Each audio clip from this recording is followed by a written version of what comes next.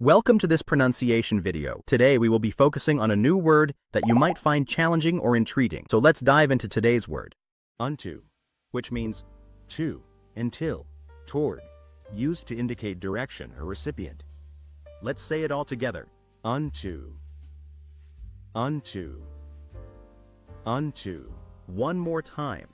Unto, unto, unto.